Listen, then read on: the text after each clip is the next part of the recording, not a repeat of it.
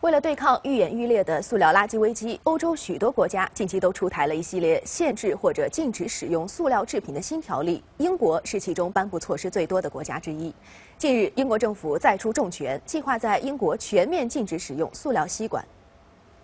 英国政府十九号公布，计划禁止塑料吸管以及其他一次性塑料制品的销售。